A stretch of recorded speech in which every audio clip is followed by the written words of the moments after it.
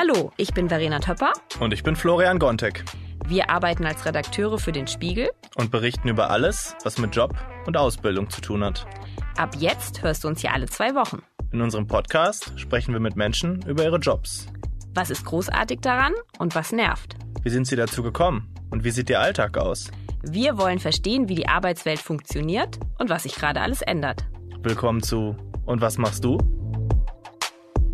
Wenn du halt nichts tust, dann wird dein Geld weniger wert. So ist es einfach. Also wenn du es auf dem Girokonto liegen lässt oder auch auf dem Tagesgeldkonto, dann ähm, kriegst du keine Zinsen darauf ähm, oder so gut wie keine, also lächerlich 0,1 Prozent oder so. Das ist ja nicht der Rede wert. Gleichzeitig haben wir eine Inflation, also die Preise steigen langfristig im Durchschnitt zwei Prozent pro Jahr. Das heißt also, dein Geld wird weniger wert und äh, dementsprechend ja, muss man sich kümmern, äh, muss man aktiv werden, muss man womöglich auch ins Risiko gehen. Hi, willkommen im Job-Podcast vom Spiegel. Mein Name ist Florian Gontek und in dieser Folge stelle ich euch keinen Bankberater oder einen anderen Finanzberuf vor. Diesmal sprechen wir über Geld. Darüber, worauf ihr vielleicht im Studium schon achten könnt und was in den ersten Berufsjahren wichtig ist. Vor allem, klar, geht es aber darum, wie am Ende des Monats vielleicht ein bisschen mehr Geld übrig bleibt. Der, den ihr am Anfang schon gehört habt, das ist mein Kollege Henning Jauernick. Henning hat ein sehr erfolgreiches Buch darüber geschrieben, wie man im Alltag richtig mit Geld umgehen und so mehr aus seinem Leben herausholen kann. Den sogenannten Young Money Guide. Von Henning will ich heute wissen, worum ich mich kümmern muss, wie sinnvolles Investieren geht und was ich auf keinen Fall falsch machen sollte. Kommen wir zum heutigen Werbepartner, den ITZ Bund. Hier bringst du die Digitalisierung in Deutschland voran. An insgesamt zwölf Standorten setzt sich das ITZ Bund für eine zukunftsfähige IT ein. Ob Zoll, Wasserstraßen, Henning, Bundestagswahlen oder andere Bereiche. Hier gestaltest du Deutschlands Digitalisierung aktiv mit. Eine gute Work-Life-Balance, ein sicherer Arbeitsplatz, vielfältige Entwicklungsmöglichkeiten und ein zuverlässiges Einkommen sind dabei vorprogrammiert. Starte jetzt durch und bewirb dich auf digitalfürdeutschland.de. Henning. Schön, dass du bei uns bist heute. Ja, hi Florian, freue mich hier zu sein. Ja, ich freue mich, dass du da bist, Henning. Und ich glaube, du kannst ähm, nicht nur mir, sondern auch unseren Hörerinnen und Hörern heute einiges erzählen. Und wir gehen heute schlauer aus diesem Podcast raus. Das ist meine Hoffnung. Das würde mich auch freuen.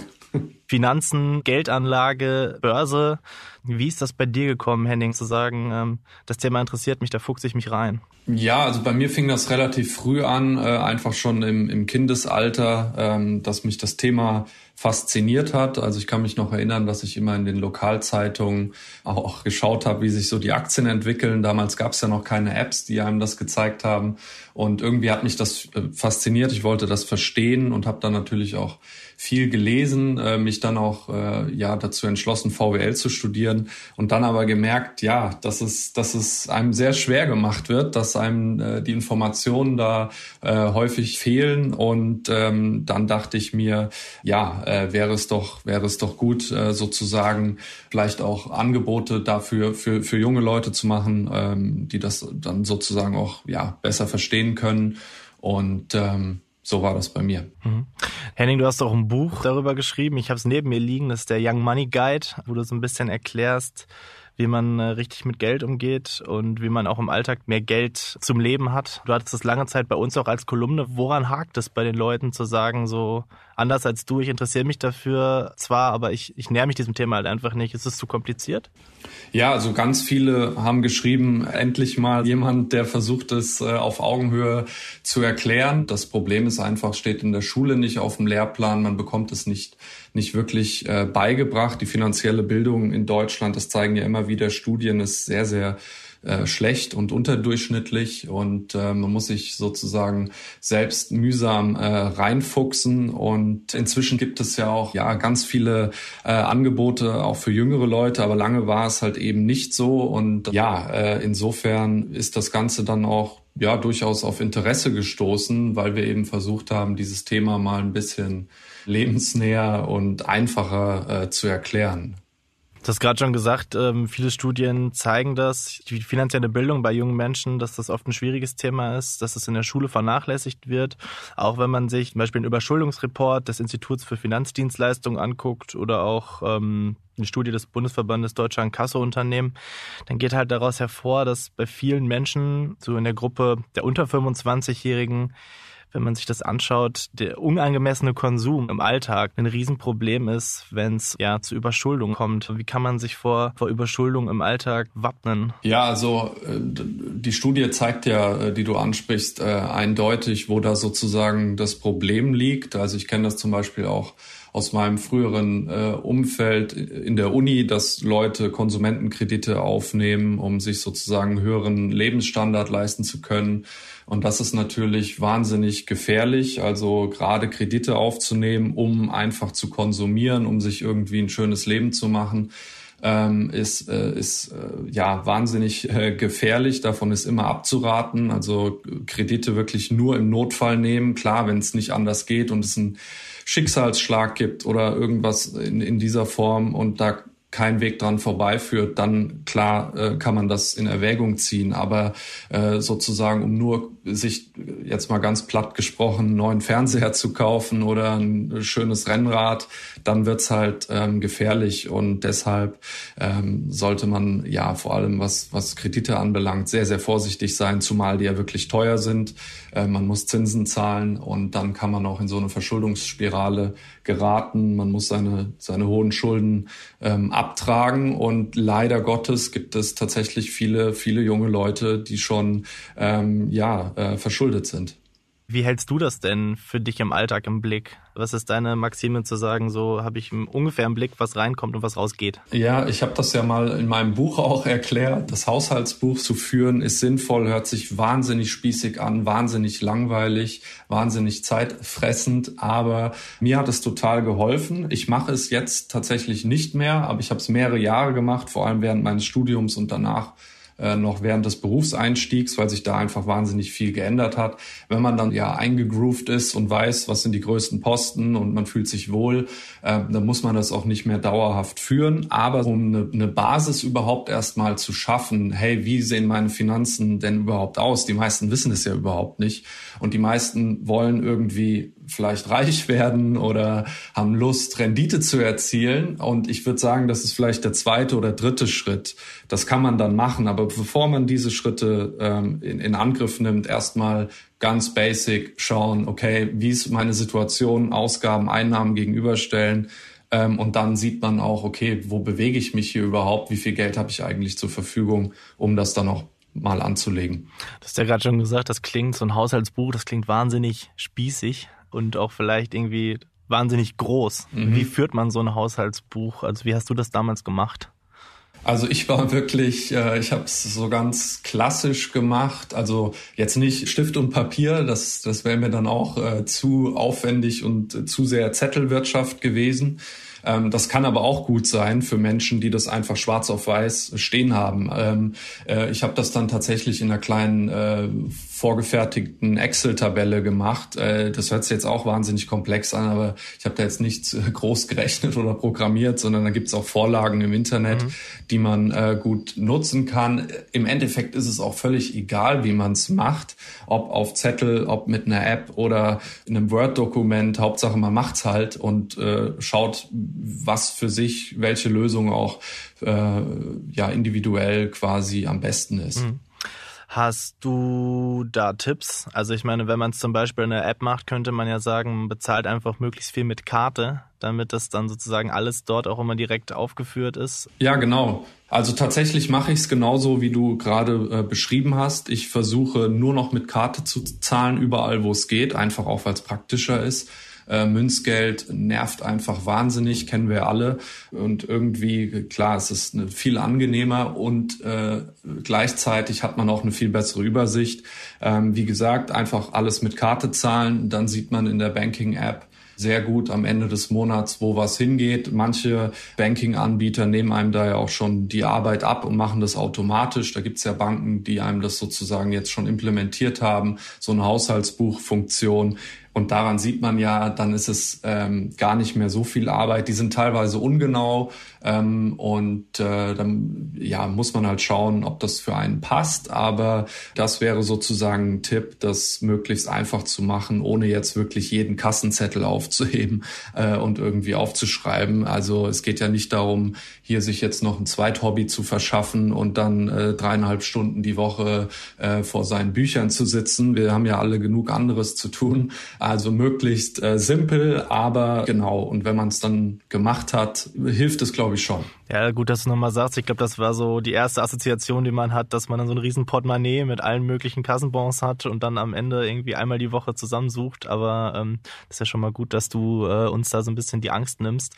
Wenn du dich zurückerinnerst, als du begonnen hast, dein Haushaltsbuch zu führen, dein, dein digitales, ähm, hattest du da für dich schnell auch Kostenfresser entdeckt? Weiß ich nicht, Auto, Versicherung, wo du sagst, so, da war eigentlich relativ schnell klar, da kann ich einsparen. Ja, also bei mir, was mich damals wirklich überrascht hat, war, das waren ja noch vor Corona-Zeiten, wie viel Geld für äh, Feiern gehen und unterwegs sein drauf geht. Also wenn man das da mal schwarz auf weiß sieht, äh, was man an einem Abend da äh, an Geld in der Bar lässt zum Beispiel, dann wird einem da schon äh, Dinge bewusst. Jetzt äh, irgendwie nach Corona äh, würde ich mich freuen, wenn ich mal endlich wieder mein Geld in der Bar ausgeben äh, würde. Aber auf den Punkt äh, will ich jetzt gar nicht hinaus, sondern der Punkt ist ja viel mehr, ähm, ja, dass man mal sieht, okay, wie viel man Geld so im Alltag nebenbei ausgibt, ohne es zu merken. Und ein anderes Beispiel ist natürlich auch so Fast-Food-Kram, irgendwie das Zeug beim Bäcker, was man sich morgens auf dem Weg zur Arbeit holt, was dann auch noch wahnsinnig ungesund ist, kommt ja noch hinzu, aber das ist auch ein anderes Thema. Aber das sind solche Punkte, die man dann einfach sieht und äh, wie viel Geld da quasi äh, für unnützen Kram ähm, ausgegeben wird. Und das hat mir schon geholfen, dass ich da so ein paar Sachen äh, neu justiert habe, aber auch das, was du ansprichst, Versicherungen zum Beispiel mal zu sehen, okay, wie viele Versicherungen habe ich, brauche ich die überhaupt? Oder ähm, ja Stromverträge, äh, welche machen überhaupt Sinn und äh, ja, aber auch größere Gegenstände. Freundinnen von mir, die es gemacht haben, haben mir erzählt, okay, wusste ich gar nicht, dass ich so viel Geld für Klamotten ausgebe, äh, wie auch immer. Also äh, jeder, glaube ich, kann da äh, ganz gut Dinge feststellen und man sieht, was auch spannend ist, wie viel man überhaupt sparen kann, was da möglich ist ähm, und wie man weglegen kann. Und das heißt, wenn man das dann im Blick hat, macht man das dann einfach weniger oder hast du, was hast du dann so vielleicht auch konkret dagegen gemacht oder ist es dann einfach so, dass das Bewusstsein einfach zunimmt? Genau, also ich glaube, es ist tatsächlich äh, letzteres, also einfach ein Bewusstsein dafür zu schaffen und dann kommt es automatisch. Es geht ja nicht darum, sich dann da in Ketten zu legen und total geizig zu werden. Damit ist ja auch niemandem geholfen. Erstens, weil das Leben dann keinen Spaß macht und zweitens, weil das auch unserer Wirtschaft schaden würde, wenn jetzt jeder sozusagen frugalistisch lebt und äh, jeden Euro äh, zweimal umdreht. Das macht, glaube ich, auch keinen Spaß. Also Dennoch ist es wichtig, im Großen und Ganzen mal einen Überblick zu bekommen und vielleicht halt unnötigen Konsum, der einen auch nicht glücklich macht, einfach wegzulassen, wovon man gar nichts hat und wo, wo man sich dann fragt, ja, äh, okay, jetzt habe ich da 100, 200 Euro im Monat für ausgegeben, aber wirklich gebracht hat's mir nichts. Dann lieber lassen und vielleicht die 200 Euro sinnvoller ähm, ausgeben. Ja, also und sich einfach genau wie du sagst bewusst machen, was man mit seinem Geld tut. Darum geht's im Endeffekt. Beruhigt aber, dass sozusagen Sparen nicht direkt Askese bedeutet. Also das ist ja, glaube ich, für viele Hörerinnen und Hörer jetzt von uns auch wichtig. Aber du hast ja auch eben schon ganz interessanten Gedanken, finde ich, eingebracht, den Gedanken des Sparens. Ähm, nehmen wir jetzt mal an, wir, wir kaufen uns ähm, 20 Kaffee to go, a 3 Euro im, im Monat, sind wir dann irgendwie aufs Jahr gerechnet bei 720 Euro. Was du ja schon gesagt hast, irgendwie sparen. Jetzt haben wir 720 Euro im Jahr. Das erscheint jetzt auf dem ersten Blick auch nicht so wirklich viel. Warum lohnt es sich trotzdem sozusagen, diesen Kostenpunkt einzusparen? Ja, also was du bei deiner Hochrechnung jetzt vergessen hast, wäre die Rendite. Also wenn wir jetzt ganz genau sind, äh, würden wir jetzt die 700 Euro noch eigentlich nehmen und anlegen. Ja, und wenn man das dann jahrelang hochrechnen würde, weiß ich nicht, mit einer Rendite von fünf Prozent, also so wie im langjährigen Durchschnitt die Aktienmärkte, dann äh, langfristig käme da schon ein bisschen was zusammen. Aber ähm, natürlich gebe ich dir vollkommen recht, das ist ein, ein Rechenbeispiel. Äh, reich wird man davon jetzt nicht. Also äh, Studien zeigen ja auch, ähm, reich wird man entweder durch Unternehmertum oder durch Erben. Das sind eigentlich die zwei Faktoren. Also man sollte jetzt nicht davon ausgehen, ähm, sich ein Ferrari leisten zu können, weil man den Coffee to go einspart. Das ist natürlich ganz klar.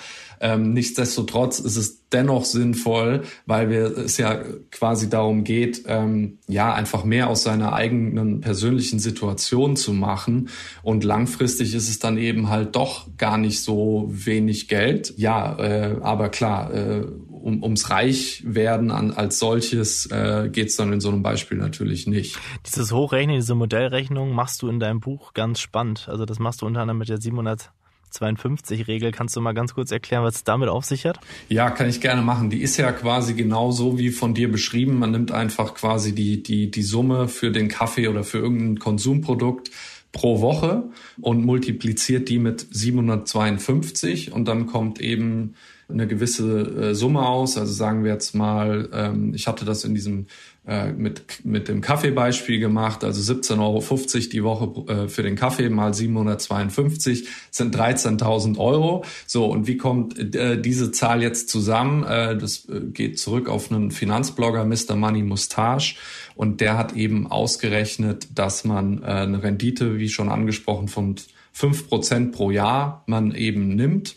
Ähm, und nach zehn Jahren würde dann das 752-fache dieser Summe entsprechen. Und das wäre dann sozusagen die Hochrechnung. Anstatt das Geld irgendwie auszugeben, legt man es an, erzielt eine Rendite. Und das finde ich dann schon ein, ein super Beispiel, weil es halt zeigt, okay, was mit so einer Rendite, mit dem Zinseszinseffekt, den sich viele nicht vorstellen können, halt möglich ist, weil die Beiträge, die du einzahlst, werden immer wieder verzinst und im ersten Jahr passiert da noch nicht viel, aber nach ein paar Jahren ähm, in diesem Beispiel nach zehn Jahren kommt dann schon was zusammen, dann sind wir bei eben 13.000 Euro. Mhm.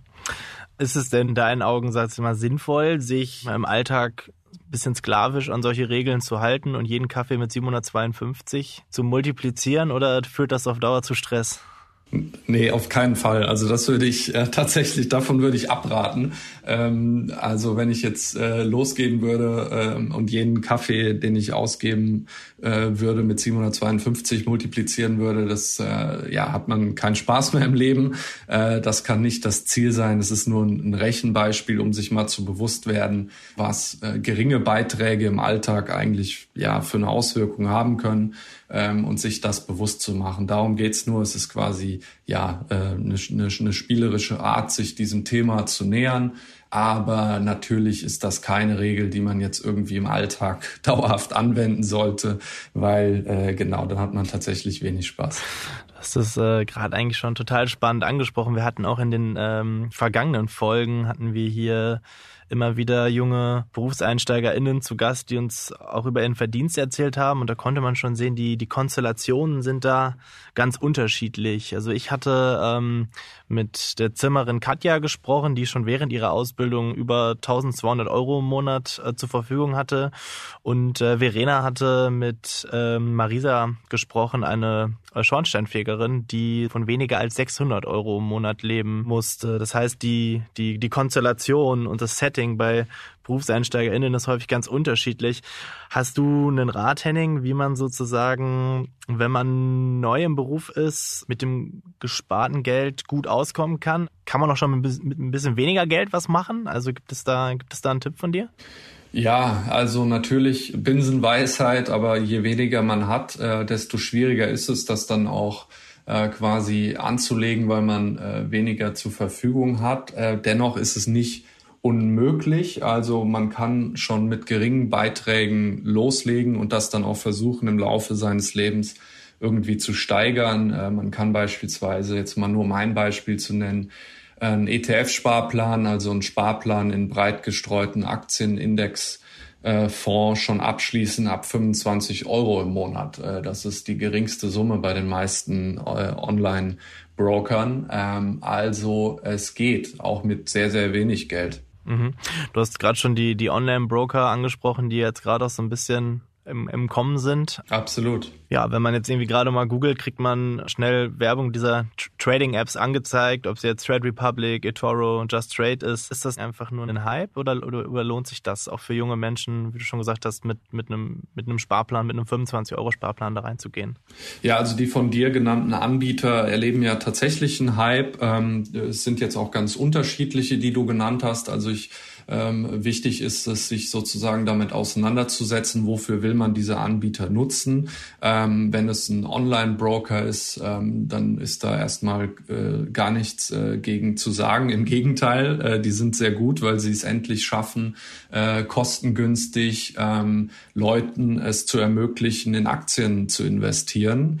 Ähm, wenn wir uns an früher erinnern, oder ist ja bis heute so, wenn man zu klassischen Filialbank geht, ähm, es ist halt einfach wahnsinnig teuer und äh, unpraktikabel und diese Trading-Apps haben es einfach geschafft, das leichter zu machen. Man hat eine App auf dem Handy, die man benutzen kann und die sind kostengünstig, aber natürlich sollte man sich damit auseinandersetzen, je nach Lage, ähm, je nach Situation, welcher Anbieter zu einem passt und gut ist.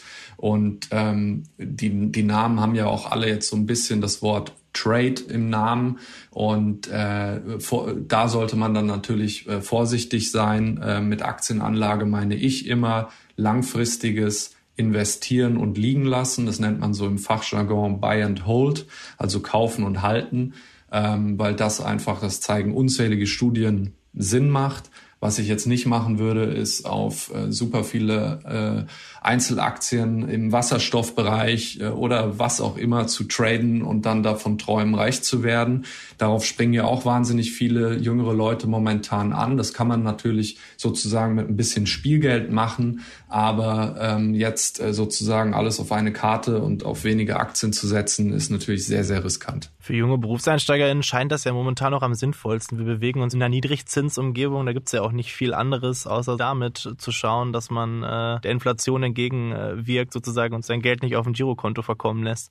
So ist es äh, absolut. Ähm, genau, äh, wenn du halt nichts tust, ähm, dann wird dein Geld weniger wert. Äh, so ist es einfach. Also wenn du es auf dem Girokonto liegen lässt oder auch auf dem Tagesgeldkonto, dann ähm, kriegst du keine Zinsen darauf ähm, oder so gut wie keine, also lächerlich 0,1 Prozent oder so. Das ist ja nicht der Rede wert. Gleichzeitig haben wir eine Inflation, also die Preise steigen langfristig im Durchschnitt zwei Prozent pro Jahr. Das heißt also, dein Geld wird weniger wert und äh, dementsprechend ähm, ja, ähm, muss man sich kümmern, äh, muss man aktiv werden, muss man womöglich auch ins Risiko gehen. Das ist die einzige äh, Option. Aus, äh, klar gibt es natürlich Leute, die sagen, ich will kein Risiko, das ist mir zu unsicher, ich habe Angst davor, ich kann dann nachts nicht schlafen, das kann ich auch verstehen. Äh, und wenn das dann so ist, dann kann man das Geld auf dem Girokonto oder auf dem Tagesgeldkonto liegen lassen, aber dann muss einem halt auch klar sein, dann ähm, wird das Geld weniger wert. Mhm. Worüber gerade auch viele reden, ist äh, Krypto, also Kryptowährungen. Bitcoin ist da so ein bisschen von gestern schon, also da gibt's mittlerweile schon, äh, schon, schon neue Trends. Man, man liest ja immer von irren Renditen, die man da rausbekommt. Ist das, ist das sinnvoll, da jetzt noch reinzugehen oder wäre dir das zu spekulativ? Ja, also natürlich sind Kryptowährungen hochspekulativ. Wir sehen es ja, was da abgeht. Elon Musk, äh, Tesla-Chef, setzt einen Tweet ab und plötzlich rauscht der Kurs in den Keller. Also es ist ja momentan wirklich, äh, man hat das Gefühl, irgendwie in einem Casino dabei zu sein. Äh, Wahnsinn, was da passiert, total spannend.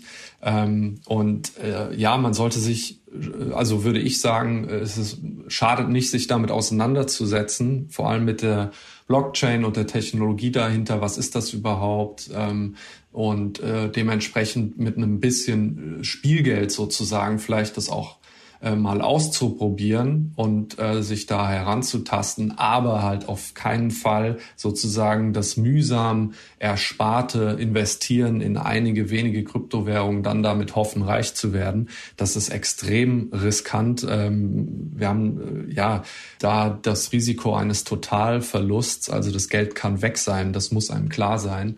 Deswegen, das machen ja auch ganz viele sozusagen nur einen ganz kleinen Teil des Vermögens Manche sagen zwei Prozent ähm, dann äh, in Kryptowährung zu investieren, also wirklich nur einen kleinen Teil, der einem dann halt eben nicht wehtut. Und so mache ich es selber auch. Okay, also Genau, ein bisschen in Krypto, aber sonst auch streuen, hattest du ja auch gesagt, ist immer eine gute Idee bei ETFs. Da kann man dann auch schon mal mit, mit ein bisschen weniger Geld einsteigen, ohne das ganz große Risiko zu gehen. Genau so ist mhm. es. Wir haben jetzt in den letzten oh, knapp 25 Minuten eine ganz schöne Rundreise gemacht. Wir haben übers Haushaltsbuch gesprochen, wir haben über die 752-Regel gesprochen, wir haben gerade noch so ein bisschen über, über Geldanlage und, und Börse gesprochen.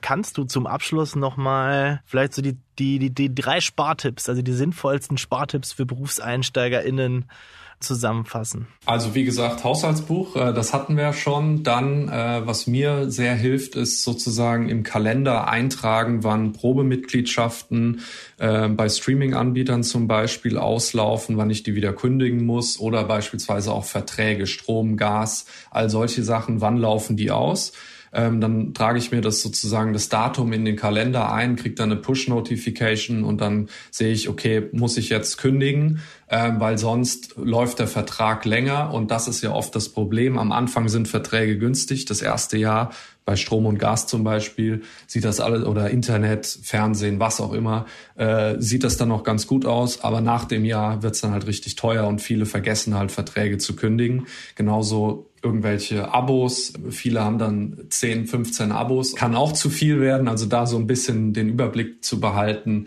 ist sinnvoll. Gleichwohl würde ich jetzt nicht sagen, okay, äh, irgendwie ähm, alles nur äh, vom Probemonat zu Probemonat äh, sich retten, würde aus meiner Sicht jetzt auch keinen Sinn machen. Wir wollen uns ja auch informieren. Das ist, ist, ist ja auch wichtig und uns unterhalten. Ähm, also ganz verteufeln würde ich das nicht. Es gibt ja auch Hardcore-Sparer, die dann alles kündigen und kein Fernsehen mehr schauen, keine, keine Zeitschriften mehr lesen äh, und was auch immer. Das wäre mir dann auch zu hart. Und ähm, ja, äh, das wäre dann vielleicht noch ein dritter Punkt. Ähm, Strom- und Gasverträge dann auch immer wechseln einmal im Jahr. Das machen auch ganz viele nicht, weil sie zu faul sind aber äh, oder weil sie denken, es ist zu komplex, aber es macht halt einfach Sinn. Ähm, da kommt schon ordentlich was zusammen, wenn man das jedes Jahr, Jahr für Jahr zu einem günstigeren Anbieter zieht. Ja, ich glaube, da können wir alle richtig viel draus mitnehmen. Henning, hab vielen Dank für deine Zeit. Sehr gerne. Für all deinen Input und ähm, Dankeschön, dass du zu Gast warst hier heute bei uns. Ja, danke dir. Ich hoffe, ihr habt aus der Folge genauso viel mitnehmen können wie ich. Wisst jetzt, dass ein Haushaltsbuch zwar altbacken klingt, aber durchaus eine gute Idee sein kann wisst, was es mit der 752-Regel auf sich hat und dass sich Sparen auch schon lohnt, wenn man nur 25 Euro im Monat zur Seite legen kann. In zwei Wochen wird meine Kollegin Verena hier mit jemandem sprechen, die ein Familienunternehmen ihre Eltern übernommen hat und sich erklären lassen, wie es ist, wenn man die Firma der Eltern weiterführt. Bei der Produktion dieser Folge wurde ich unterstützt von Jelena Berner, Philipp Fackler Ole Reismann und Sophia Schirmer. Ich wünsche euch bis dahin alles Gute, bleibt gesund und bis zum nächsten Mal.